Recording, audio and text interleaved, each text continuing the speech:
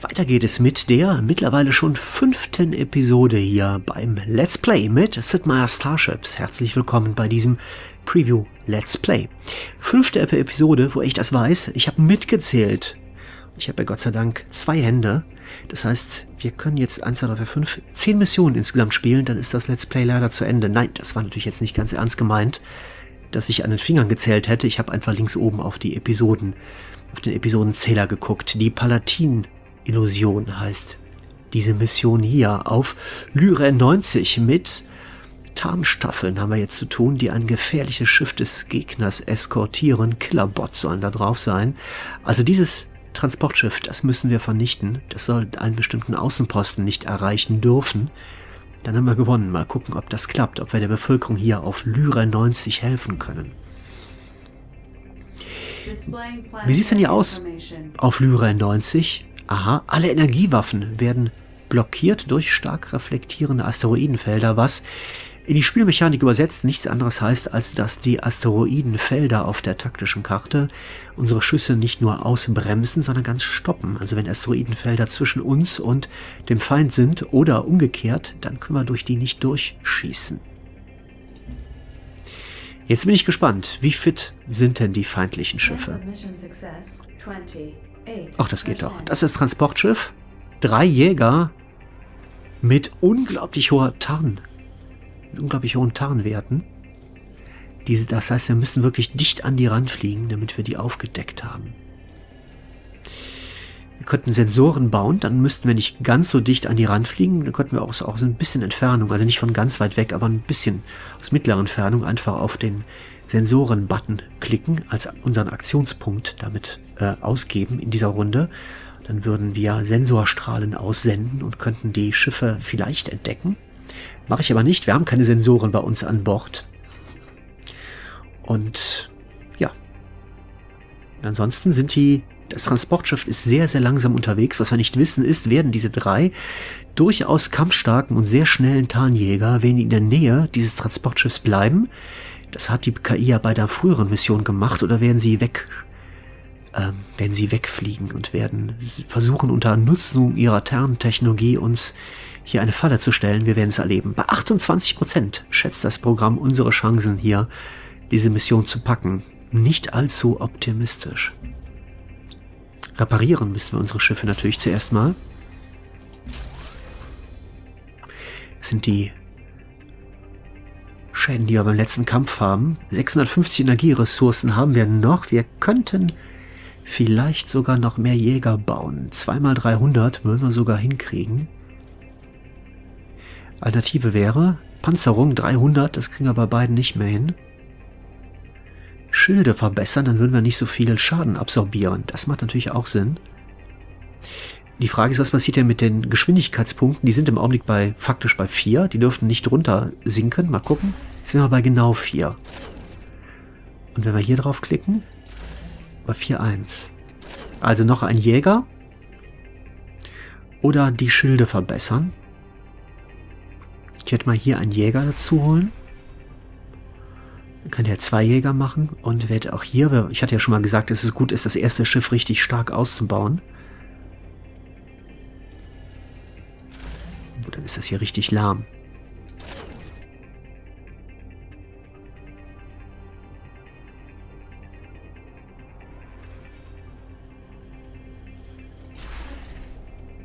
So mache ich das. Und auf geht's. Ja. Vier. Vier Jäger haben wir jetzt insgesamt im Kampf. Damit müssen wir es doch eigentlich schaffen, dieses Feindschiff zu killen.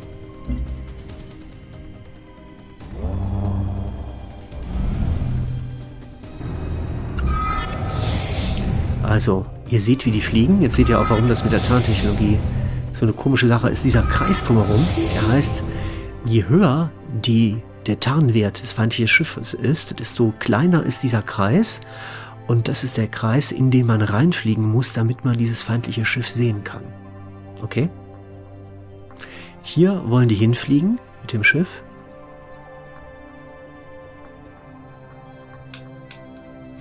Das heißt, die müssen hier auf jeden Fall durchfliegen. Da werde ich das ja mal hier hinschicken.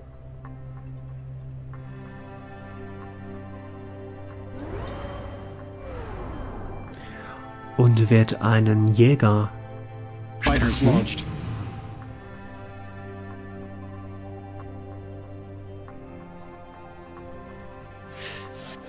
werde ihn mal hier hierhin positionieren. Also die Asteroiden blockieren jeden Schuss.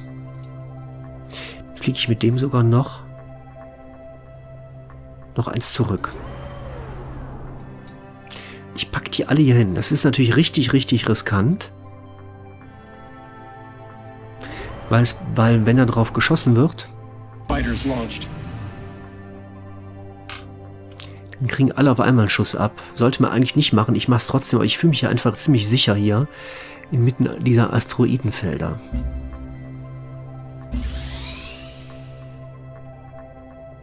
Ich aber leider nicht mehr erkennen, weil ich sie hier so knubbeln. Zwei Schlachtkarten.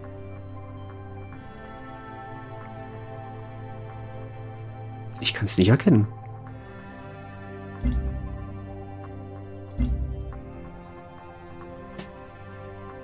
Ich sehe es nicht. Der kann sich, glaube ich, einmal nach links drehen. Ja, war richtig. Und nochmal. Okay, und der hier? Nach Impulsenergie und nach rechts. Ja, war richtig. Der hier? Nach links drehen.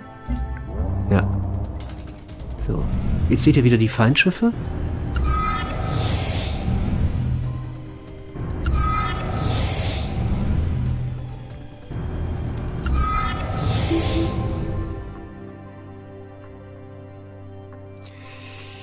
Wenn wir mit dem Jäger hier hinfliegen, erwischen wir den dann? Nee, ich denke nicht.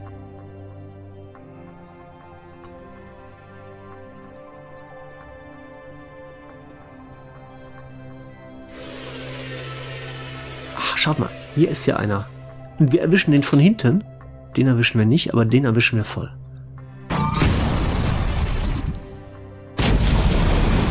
Von hinten. Prima, wunderbar. So, jetzt haben wir noch einen Jäger.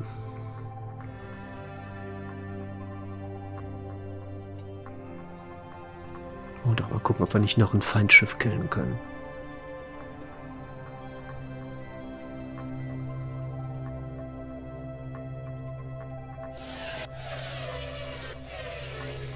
Da ist eins.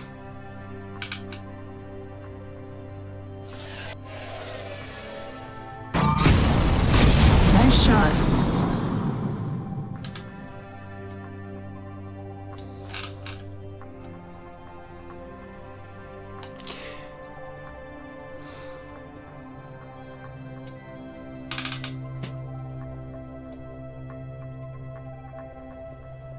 Jetzt will ich nämlich natürlich gerne wieder in Sicherheit bringen. Könnte schwierig werden. Ich flieg mal, mal hier hin. So, der kann gleich noch einen Jäger starten. Oh, jetzt habe ich eine gute Idee. Hier hin. Oh, das hat noch keine gute Idee. Weil der Jäger, der kann ja erstmal, der kann nicht. Ah, das ist ärgerlich. Eins nach hinten. Und einmal drehen.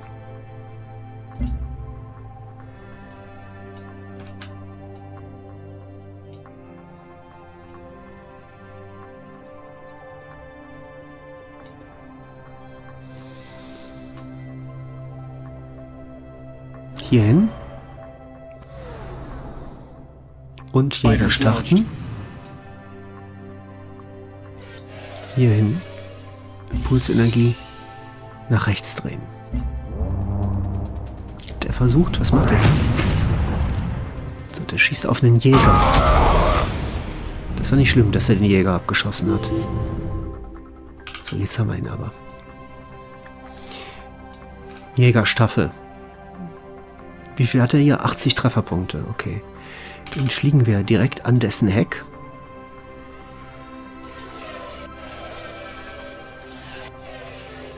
...63 Trefferpunkte.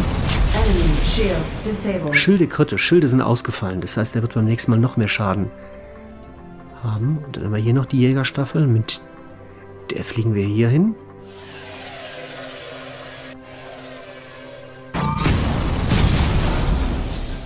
Good work. Wunderbar. 6447 Punkte. Schwierigkeit 3. Sehr, sehr schön. Trade route established with. Also, 90. Bedrohung neutralisiert. 400 Credits bekommen wir und plus zwei Einflusspunkte, weil wir die erste sind, die da dem Volk bei, auf diesem Planeten eine Mission erfolgreich durchgeführt haben. 50% aller Ressourcen bekommen wir ab sofort und besten Liste ansehen. Ah, Writing Bull ist auf Platz zwei. Sehr, sehr schön. Ich wette, wenn wir ich hatte ja noch zwei Schiffe, mit denen ich noch hätte ziehen können. Wenn ich damit noch dieses eine Schiff da ganz links oben vernichtet hätte, dann wäre ich vielleicht sogar noch eins weiter oben gewesen, oder? Könnte ich mir gut vorstellen.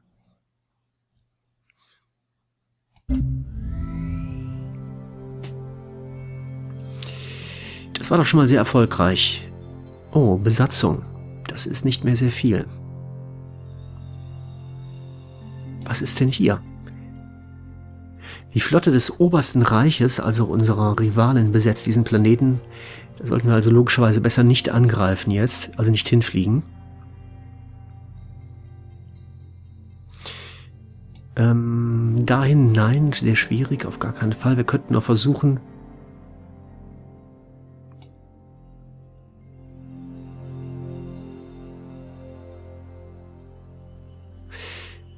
Ich mache folgendes. Ich flieg mal...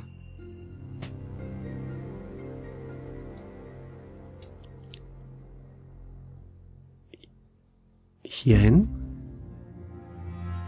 Und ich hoffe, wir haben noch erhalten Raumzeitanomalie erschafft ein Sprungtor. Ach, wir haben noch eine Schlachtkarte bekommen. Ich dachte, man bekommt immer nur eine pro dunkle Materie. Das ist ja sehr erfreulich. Wir haben noch einen grünen Punkt. Das war mein, ähm, das war das, was ich hier auch bewirken wollte, weil jetzt können wir nämlich hier hinfliegen. Und wenn wir da überwintern, wenn wir da eine Runde aussetzen, dann bekommen wir dadurch ja automatisch den letzten Viertelkreis dazu, weil die Bevölkerung sich einfach so freut, dass wir da sind. So, wie können wir jetzt noch, äh, das heißt, auf jeden, der Planet wird auf jeden Fall beim, in der nächsten Runde uns gehören. Das heißt, wir können jetzt auch schon mal anfangen, den auszubauen. Wir haben jede Menge Metall, wir haben jede Menge an Nahrung, um Städte zu bauen. Das heißt, mehr Energie bauen, unbedingt ein Kraftwerk hier bauen. Biofuel plant operational.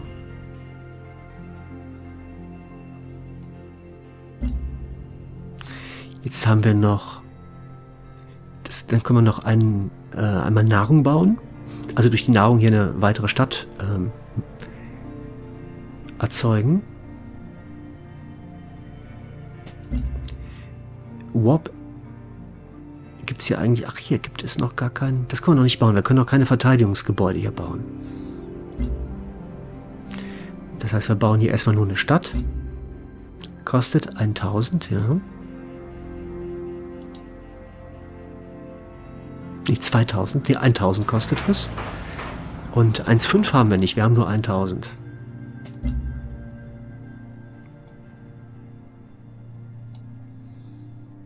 Ja, das ist das, was wir jetzt machen können. Eine Runde weiter. Admiralslog. Das haben wir erreicht, beziehungsweise teilweise nicht erreicht.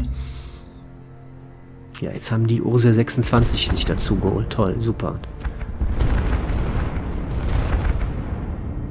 泛亚合作，光宗耀祖。 Daoming Sushur ist da, die Premierministerin der Galaktischen Union. Noch eine Konkurrentin, die wir kennengelernt haben. Ja, guten Tag. 学习是个宝。 Ebenfalls, gerne. Korvette angeschlagen, Angriffszerstörer. 没问题。 Sie haben ja zwei Planeten. Piscium und Octantes. Und hier hat sie drei Viertelkreise. Ja, alte Angeberin. Ich versuche mal, äh, ich biete ihr ein paar freundliche Worte an. Ich versichere ihr, dass ich mir ganz, ganz sicher bin, dass diese Galaxie groß genug für uns beide ist. 我们可以回到我们的研究上。 Sicher, jede Menge Platz. Wir ziehen es vor, in Frieden mit unseren Nachbarn zu leben. Ich muss mich nun mit unserer Freundin Kavita Thakur von der zweiten Allianz treffen. So, so.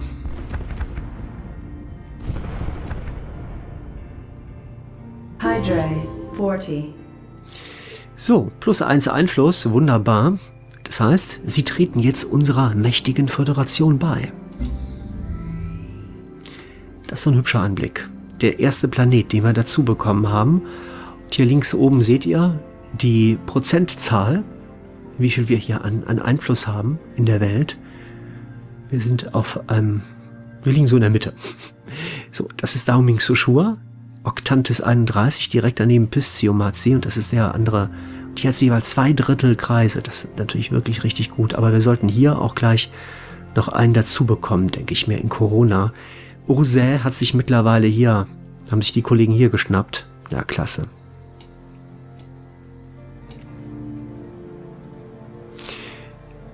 Hier können wir hinziehen gleich. Das hier ist immer noch eine, das hier ist mittlerweile eine sehr schwierige Mission. Das hier auch eine. Spiel macht es uns nicht einfach. Und hier könnten wir den Gegner ein bisschen ärgern, das ist aber eine schwierige Mission. Fliegen wir erstmal hier hin. Sind unsere Schiffe eigentlich fit? Ja, sie sind fit. 1900 Forschungspunkte. Ah, ich schade, ich wollte mir den Ionenantrieb hier holen. Und dass wir noch ein bisschen fixer unterwegs sind, das geht noch nicht. Vielleicht kaufen wir uns da ja mal was dazu, mal gucken. Credits haben wir 400.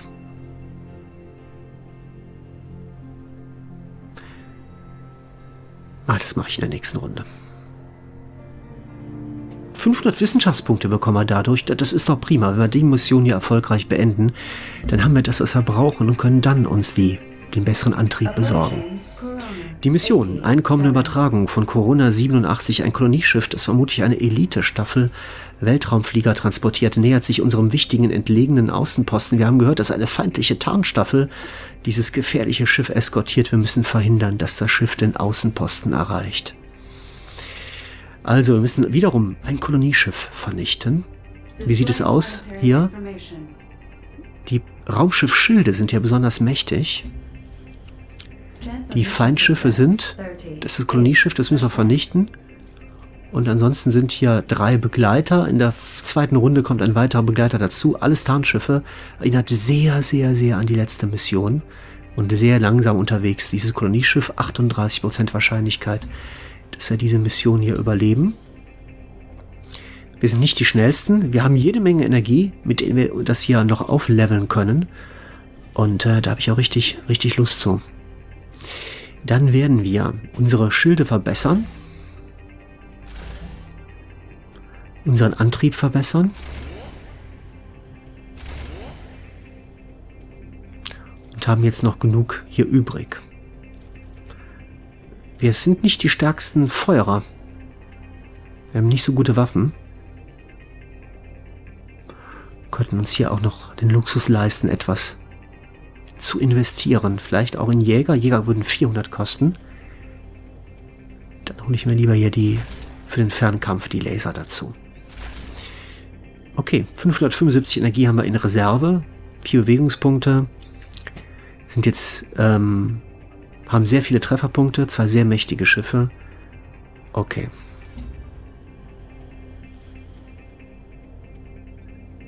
Yes, Commander.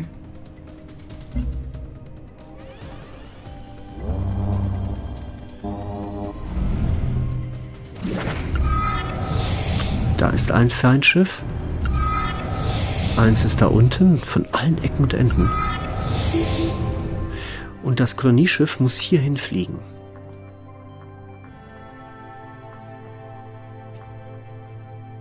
Und hier war ein Feindschiff, das kann aber auch nur einmal feuern. Die brauchen eine Weile, bis sie bei uns sind. Das heißt, wir können die durchaus hier erwarten.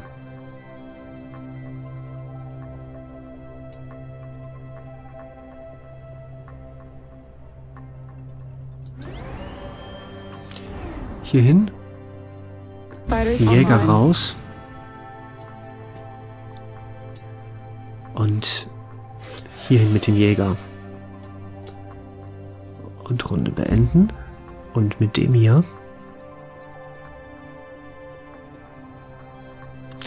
machen wir auf das Kolonieschiff ein bisschen Druck von der anderen Seite.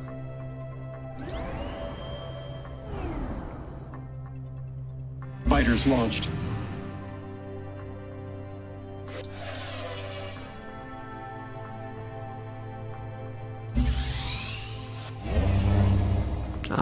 Ah, da war ein Feind aufgedeckt. Den wird sie sicher abschießen. Nee. Das waren die Module mit den Jägern. Die bringen wirklich mehr Trefferpunkte. Da taucht ein Schiff durch ein Sprungtor ganz woanders auf, nämlich da ganz oben. Das kann uns egal sein.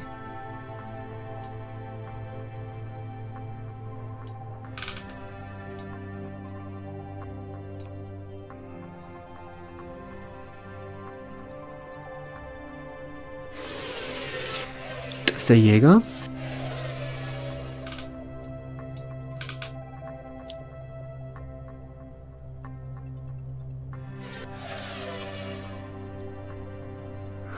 Und das Kolonie, wenn wir ganz dicht dran fliegen, schießen wir auf beide gleichzeitig und Nice shot.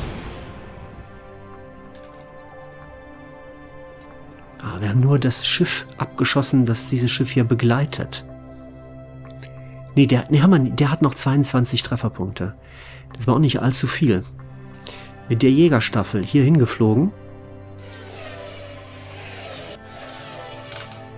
Ja, Good work.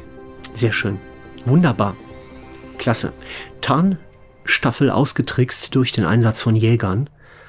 Sehr schön. 3696 Punkte. Corona, 87, has joined our 500 federation. Wissenschaftspunkte. Danke. Das ganze Volk unterstützt uns jetzt. Das heißt, dieser Planet tritt unserer mächtigen Föderation bei. Und bei der Mission Überraschungspaket sind wir jetzt wo? Auf Platz 2. Auf Platz 2 der Liste. Sehr, sehr schön.